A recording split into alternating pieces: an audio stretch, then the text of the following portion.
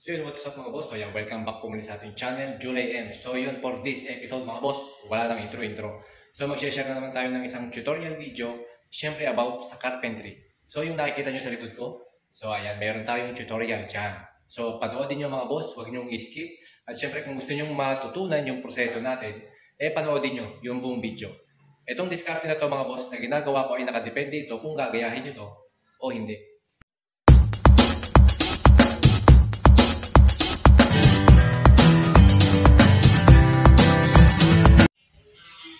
At so yun mga boss, so bali sa paggagawa ko ng kanal nitong ating uh, dadaanan ng ating guide mga boss. So nag-DIY lang ako dito sa isang lamesa ng circular saw o ng ating table saw. So bali, kinabit na lang natin yung ating uh, circular saw sa ilalim. So pansamantala lang yan mga boss, hindi yan na uh, permanente dyan. So ito'y DIY lang. So para lang malagyan natin ng kanal itong ating mga sliding door.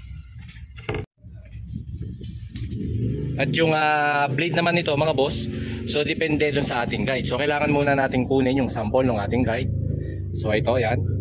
So para mala malaman natin kung gaano kalalim yung gagawin nating kanal dito. So ang gagawin natin mga boss, hindi lang isang beses na padaan ang gagawin natin. So mga dalawa hanggang tatlo hanggang sa magkasya itong guide na to. Dahil mas malaki itong guide, kukumpara natin dun sa ating saw blade. So yan, kung titingnan nyo, maliit yung ating saw blade. So kinakailangan nating mga dalawa hanggang tatlong padaan para magkasya no.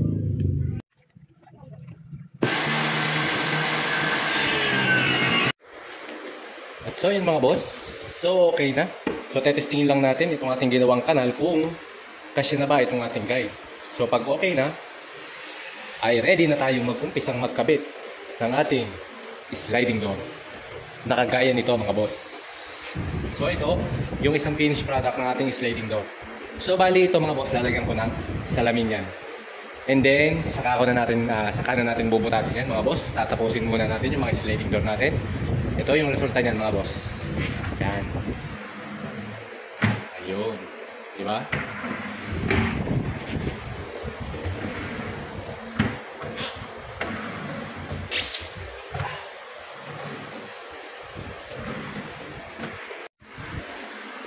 And then, so yan gagawin muna natin mga boss. Bubutasin muna natin ito mga rail track. Ayan. Ito yung pagtutornilyohan natin mga bossing. So yung dami ng tornilyo na ilalagay natin mga boss ay nakadepende sa haba ng rail track na ilalagay natin at sa bigat ng pinto na ikakabit natin mga boss. So syempre mas marami, mas matibay. And then uh, pag nabutas natin to mga boss, padadaanan ulit natin to ng isang bala na medyo mas malaki naman dito. Yun yung part na ilulubog natin o lulubugan ng ulo. Ayan. So sa pagbubutas ng ating uh, lalagyan ng screw mga boss, eh depende yung bit na gagamitin natin sa laki ng screw na gagamitin natin mga bossing. Pero wag naman masyadong malaki mga boss dahil papansinin nyo, yung mga rail track natin kasi may mga kanal yan. So kinakailangan na tama lang yung tornilyo, yung laki ng ulo ng tornilyo natin na gagamitin na para makalubog dun sa may kanal na part. And then pag nabutas na mga boss, babalik ka rin natin. Papalitan natin ng mas malaking talim itong ating barena. Na ngayon, bahagyan lang nating uh, babarinahan para lumaki yung bukana, yung butas ng bukana. Pero wag nating itatabusin mga boss yung buka na lang para yung ulo ng screw eh makalubog.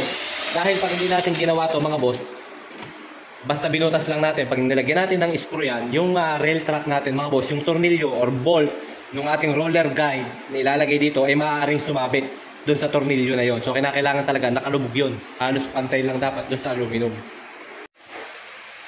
At so yun mga boss, so eto na, dadamo na tayo sa pag-install ng ating napaka-basic na rail track at roller guide installation. Yung ating sliding door installation, ito ay makikita natin sa inyo mga boss, yung pinaka-basic na basic na basic na basic na basic na pagkakabit nito. So tara na mga boss, and let's do this! At so yun mga boss, so bali sa unang step na gagawin natin pag-install nitong ating rail track at nitong ating roller guide ay ganito mga boss yung setup niyan. So ipakita natin sa inyo, akit tayo dun sa taas. Ayan.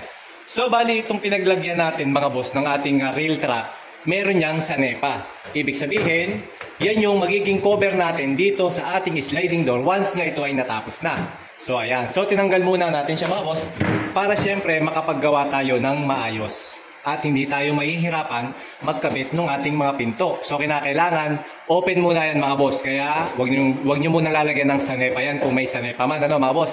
And then syempre una, ikakabit muna natin yung unang rail track. So bali kapag meron tayong two-way o two pieces na door, syempre kailangan natin ng dalawang rail track. So ang gagawin natin, ikabit muna natin yung first rail track. So itong rail track na nauna mga boss, kung mapapansin nyo, wala yang roller guide sa loob. And then itong ating rail track naman sa kabila, mapapansin niyo meron nang nakalagay na roller guide. So kasi mga boss, kapag ang isang ah, sliding door na lalagyan natin ng ah, roller guide, kapag yan ay sarado, ibig sabihin ganito mga boss, kita nyo, wala nang mapapasukan doon ng roller guide. At pagdating doon sa dulo, wala na rin siyang mapapasukan ng roller guide. So pagkabit natin itong rail track na to mga boss, automatic, kinakailangan nakalagay na itong ating mga roller guide bago natin isalpak itong ating rail track dahil hindi na natin may yan mamaya. Ang setup naman nito mga boss, ganito lang. So yun mga boss, yung setup nung paglalagay natin ng roller guide dapat ganito mga boss. So sa kabilang dulo, dapat nandyan yung ating stopper at yung lock na magsisilbing lock ng ating sliding, ng ating roller guide kapag yan ay bumunggo dyan. So kinakailangan mga boss, eksakto at tama yung paglalagay ng roller guide. Dapat susundin natin kung alin dito yung kakagatin ng lock na yun. So kailangan ganyan. So kapag nakagano yan, mga bossing, ibig sabihin, halimbawa nakaganito, baliktad dyan mga boss, ano, mali yan. So kinakailangan itong ah, parang pin na yan, inaandun. And then sa kabilang side naman, andun sa kabilang dulo yung another lock. And then naandun naman yung isang roller guide na kapares niya. So pag kumagat yan mga boss, ganito ang itsura niyan. Pag yan ay nag-lock. Ayun, pat. So makikita nyo, yan, nakalock na yan, hindi na natatanggal. Di ba? So yan, nakalock na.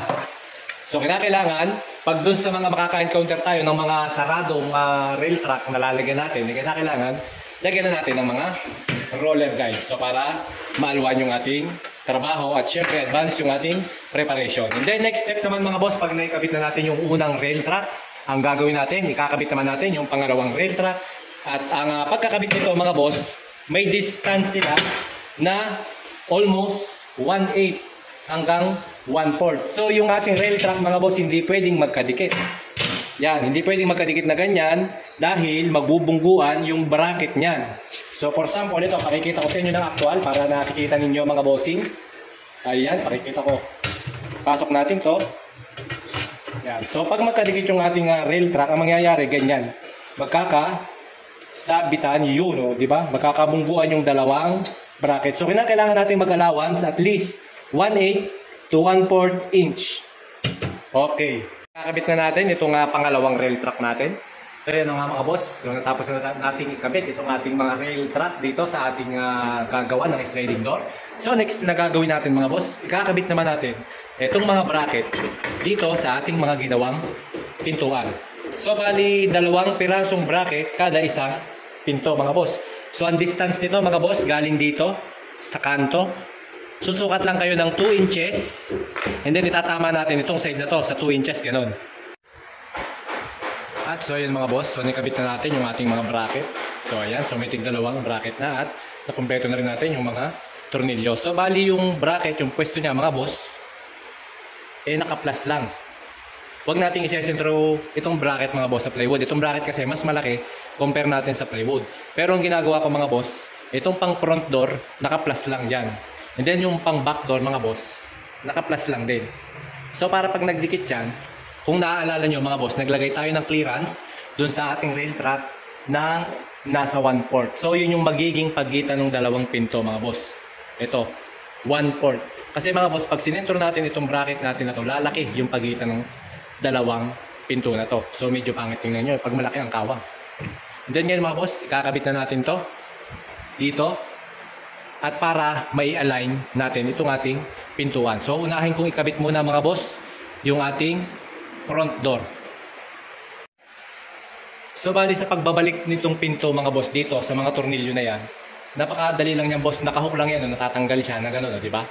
O yun, tanggal na, wala na siya dun sa ating natin. Then pag ibabalik natin mga boss, ipapasok lang natin ulit dun sa ating tornilyo. So ayan. And then, i-align naman natin. Ang pag-align nito mga boss, una nating titingnan yung siding. Yung tabi. Ito. So, kailangan mga boss, walang siwang. Itong gilid na yan, pag kinabit natin. So, ayan mga boss. So, yan, napapansin nyo, meron siyang pa konting siwang. So, ang gagawin natin, i-align lang natin. I-adjust lang natin yung mga tornilyo dun sa taas. Pwede yung i-adjust pataas, pababa. Depende sa gusto nyo mga boss. At so yun mga boss, so naikabit na natin itong ating unang pinto at nai-align na natin mga bossing. So pareho na ng distance yung ating gilid at saka itong pinaka ilalim niyan. So wag natin itong ididikit mga boss. So dapat may clearance to mga boss dahil gawa ng guide natin ito. So bali yung guide natin mga boss, ang sukat nito ay yan, tatantyahin nyo lang mga boss na hindi sasayad yung ito, yung pinto sa guide. So para hindi siya gumanit. So ganyan lang mga boss. Next step na gagawin natin, ilalagay na natin yung ating guide dito sa gitna. Hindi boss sa tabi, hindi doon sa gilid, doon sa gitna. Pinakagitna nito. Nandiyan lang yung guide niyan. So para hindi lumalabas. Dahil pag doon nilagay natin sa dulo, paglagay, pag-slide natin yung pintuan natin, wala na, tatalo na siya. So laging nasa gitna. So sa paglalagay ng guide mga boss, kinakailangan mga boss, titingnan nyo lang yung alignment, itong gilid ng ating pinto. Kung sa tingin nyo ba, ay pareho na ba ng distance, nasa hulog ba itong ating ah, pinto bago natin i-fix itong ating guide. At so yun mga boss, so ito namang back door naman, isa yung next na pinto naman, yung i-align natin. At so yun mga boss, so okay na yung ating mga guide. So kinakailangan mga boss, itong mga guide na kinakabit natin dapat eskwalado. So kahit malit yan, kinakailangan naka-eskwala pa rin yan. Dahil kapag ito yung pumilipit mga boss, eh medyo gaganit yung ah, magiging epekto ng ating ah, sliding door. At so yun mga boss, so pagdating naman sa pagpipix, so ipipix na natin itong pintuan. Hihigpitan lang natin yung mga nut dito sa ibabaw. So bali ang paghihigpit niyan mga boss, kailangan natin ng dalawang back wrench. So depende na sa magiging size nung nut at nung roller guide na ginamit nyo mga boss. No? So kailangan may pangkontra tayo. Dahil pag pinihit natin to at wala tayong pangkontra mga boss, maaaring magbago yung taas niya. No?